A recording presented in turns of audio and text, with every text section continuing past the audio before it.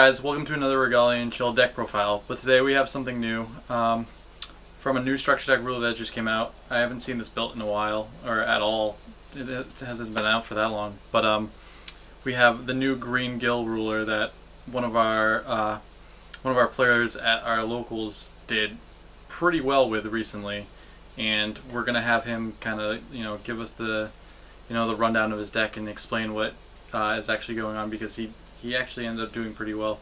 Um, what was your record at the end of the day? I went three and one. Three and one, and I think he only lost to uh, I think Aggro, Black an Book. aggro black book. Yeah, so something that's generally just really fast. It's hit or miss, but other than that, this deck controlled pretty well.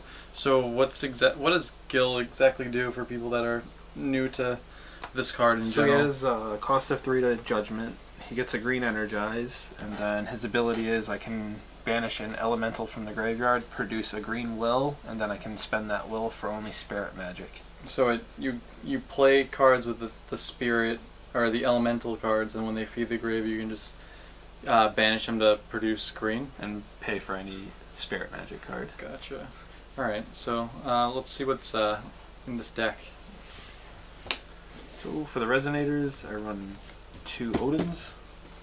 Pretty self-explanatory. It produces will when you tap a stone. It produces a double color of it.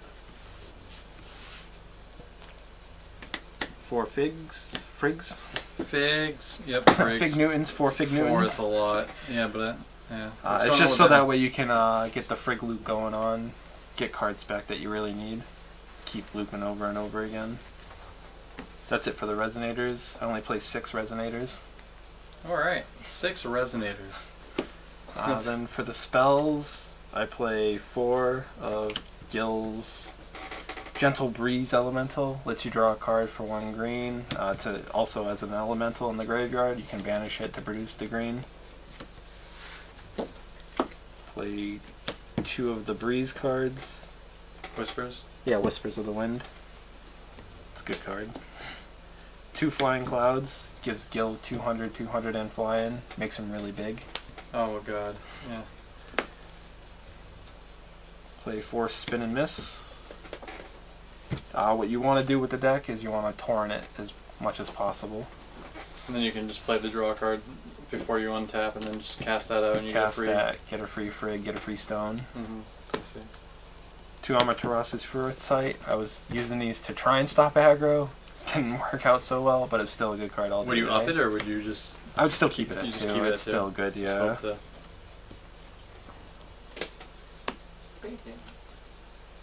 Then I play four release. Very good card. Mhm. Combined with this card right here, you can literally plus four off of it if you wanted to.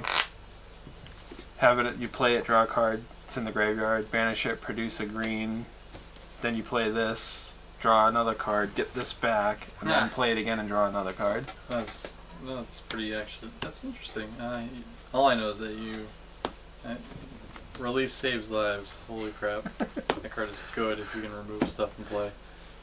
Uh, then I play three soul debts, gets rid of high attacking dudes. How's it doing against like big resonators and stuff? Like It's really good. This is extremely good against Fox. When they try to drop down a Griffin, you just bring it back onto the bottom. It kind of hurts them a little bit. Yeah. And then I play one observation. This is the second win condition in the deck. The main win condition is Gill. When he Yeah. flips season 11-11, it has the same effect that you banish an elemental, produce a green, and he has barrier inherently. And then with the flying cloud, it becomes really big, so you just sit on Gill. essentially. Okay. And then you got the frigs going. Okay. To get rid of really problematic cards, I play two erasures, get rid of the J ruler or something like that, seeing how Black Moonbeam is no longer a thing. this is this next best. Three mists, so that way I can get rid of either cancel spells or anything that's like gonna hinder me too severely. So what's the colors? Black, It's white, black, green? white, green. Gotcha.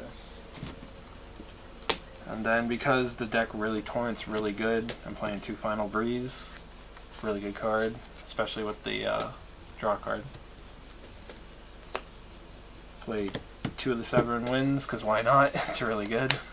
Yeah, no, that's. And then another good card is for Vanish. You're fine with four Vanish. Vanish just seems like it's so expensive sometimes. It's but three, I guess with, but I guess with, with the Gill, deck it yeah. becomes two. yeah, that that makes more sense the more you play it. Like that card's kind of ridiculous with Gill because it's a lot cheaper than it looks. And Not a lot of people realize that. And then the stone base is three s- Gusting Skies, hmm three Black Silence, and two Mhm. Killing Stone because you really want black. True. And uh, you said your toughest matchup was just The aggro, was just trying to figure out how to beat aggro. Yeah. That so was like, way too fast.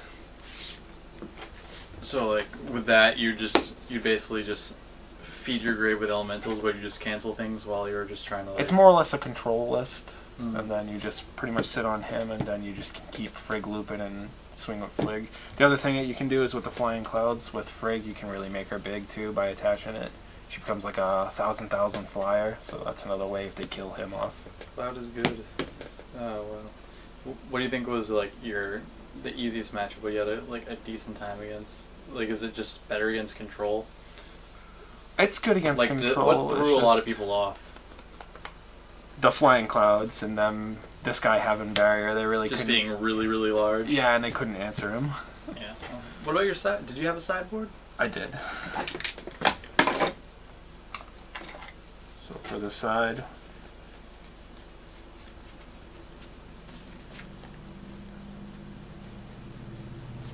So this was the side.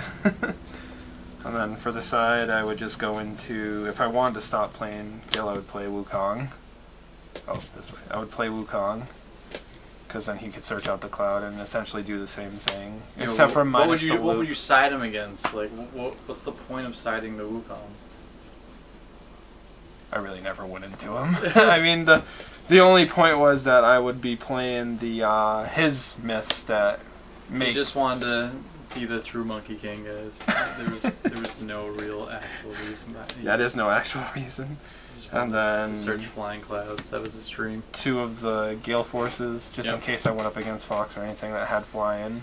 It's definitely a card and against stuff. Then I played two of these because it's white. Any really Priscia, this thing would poop on Priscia. Yeah, it does kill Perseus. Yeah. Surprisingly. But I didn't play a Priscia today, so. Even though there was that did win the tournament and he did not play it. And then two more Two foresights. Yeah. And two more final breeze. Two full chant. Actually, a really good card if your opponent taps out and you just pay the two. It's a wall of wind. People cry. One board wipe. I did side this in against aggro, but by the time I got it, he just had too much damage on the board and I couldn't really stop him. That was like two stones. Well, I was one stone away from actually being able to play it. And then three of these to make Gill even more bigger. We want to play that over rapid growth. And you I play thi- that over it? I, I would play Rapid Growth, but in the Gill deck, I think I'd play this because it's a Spirit Magic. Oh, true. That it is. And yep. it'd be practically free when you banish the elemental Gotcha. and play it. Well, well, there you go, folks. I mean, if you're looking like, this is a ruler that a lot of people didn't like actually expand upon. They just thought, you know, it's very underwhelming. But unfortunately, seeing it in our locals, it kind of did put in a good amount of work. Barrier is a big deal. If a lot of people didn't realize having barrier on a J ruler, Alderbert was the first ruler to come out, I believe, that had barrier, already like built into its effect. But you can never really get it off without casting green and just this having it like built in as a ruler. It also has uh, zero J ruler uh, light zeros stats where it's 11 11. So it's actually a little bit harder to get over within the basic rulers that we have now since our out of like Lumia, Fox, and uh, Priscia, I think Lumia has a thousand stats and Priscia has a thousand stats. So nothing actually gets over them without you know using either other cards or other effects that could potentially run him over. So just killing him by battle is pretty tough, and he's a nice surprise that was you know thrown in our locals today. So I definitely wanted to give uh, thank um, Toby for giving us you know the shout out and the deck profile uh, towards us our channel, Regalia and Chill.